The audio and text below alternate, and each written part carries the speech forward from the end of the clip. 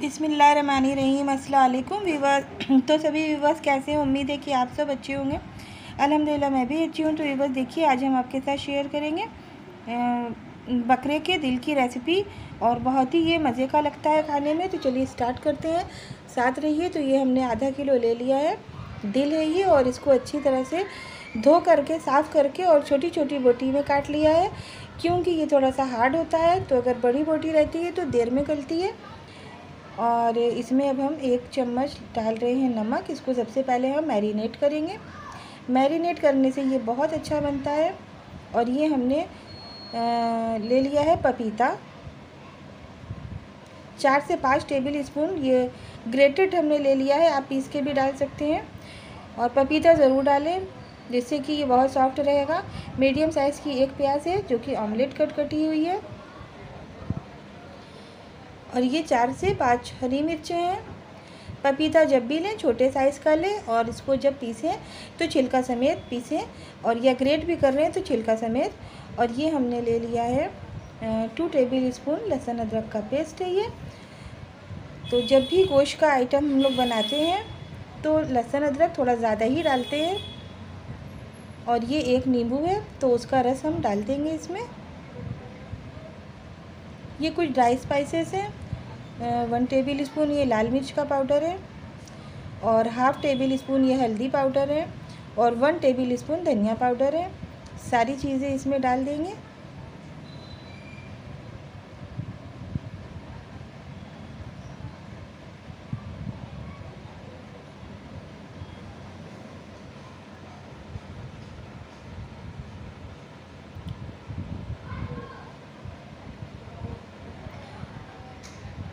तो ये one teaspoon हम गरम मसाला पाउडर हमने ले लिया है, जिसमें कि काली मिर्च भी है और जितना भी खुशबू का मसाला होता है, ये सब कुछ इसमें है।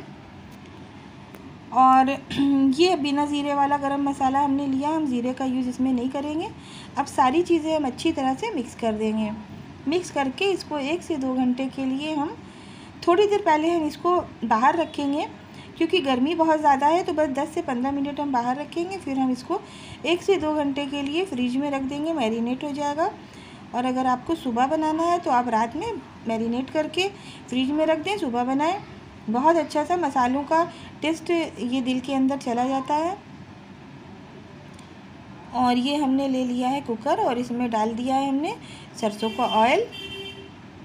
तो हमने ये वाली चम्मच से इसमें सरसों का ऑयल दो चम्मच लिया है और कुछ खड़े मसाले हैं। तो ये लौंग है, चार से पाँच छोटी इलायची, दो है और दो से तीन तेज़पत्ता है। तेल को अच्छी तरह से गरम कर लिया था। उसके बाद एक छोटी सी मीडियम साइज़ की प्याज को हम गोल्डन फ्राई कर लेंगे। और ये देखिए, ये अब दो घंटा हो चुका है। अच्छी तरह से मैरिनेट हो चुका है दिल। तो हम सारा दिल अब इसमें डाल देंगे और इसको अच्छी तरह से हमें भुनाई कर लेनी है। ध्यान रहे कि गोश्त की बुनाई अच्छी तरह से करें। जब गोश्त की बुनाई आप अच्छी तरह से करेंगे तो ये मज़े का बनता है और इसमें जो गोश्त की स्मेल होती है, वो बिल्कुल भी नहीं रहती है। क्योंकि गोश्त की स्मेल रहती है तो खाना मज़े का नहीं लगता है। और हमेशा मीडियम फ्लेम पे ही खाना बनाएँ, जिससे कि खाने का टेस्ट भी अच्छा हो जाता है और अंदर तक के सारे मसाले चले जाते हैं, टेस्ट बहुत अच्छा होता है। तो देखिए, ये भुन चुका है। अब हमने इसमें डाल दिया है पानी। पानी हम इतना लेंगे कि जिसमें ये दिल जो है, गल जाए। और अब हम लगा देंगे कुकर का ढक्कन। एक सीटी आने देंगे। और उसके बाद पंद्रह से बीस मिनट इसको गलने देते हैं। तो देखिए, ये गल चुका है, ढक्कन हमने खोल लिया है। और देखिए, हमने आपको तोड़ के भी दिखाया है। तो ये गल गया है अच्छी तरह से। और प्लीज़ वीडियो देखने के साथ साथ जिस किसी ने भी हमको लाइक शेयर एंड सब्सक्राइब नहीं करा है please like share and subscribe कर दीजिए और बेल आइकन को प्रेस ज़रूर करिए ताकि मेरी सारी रेसिपी आप लोग आसानी से देख सकें। तो देखिए, ये एकदम रेडी हो गया है और बहुत ही मज़े का बना था, बहुत ही अच्छा खुशबू आ रही थी। तो अब हम इसमें डाल देते हैं कसूरी मेथी और इससे ये बहुत ही अच्छा सा इसमें से और भी खुशबू आती है। अगर आपके पास यानी कि जब विंटर सीज़न होता है तो सोया और मेथी दोनों फ्रेश फ्रेश मिलता है तो आप वो भी डाल सकते हैं। तो देखिए, ये अब हम इस बोल में इसको डिश आउट कर रहे हैं। और इसको आप चपाती के साथ, पराठे के साथ, नान के साथ, चावल के साथ, किसी भी चीज़ के साथ खा सकते हैं। बहुत ही यमी और टेस्टी होता है खाने में। तो आज की रेसिपी आप लोगों को कैसी लगी? व्यूवर्स कमेंट में ज़रूर बताइएगा, अगर अच्छी लगी है तो लाइक शेयर एंड सब्सक्राइब करिएगा और बेल आइकन को प्रेस करना बिल्कुल भी ना भूलें।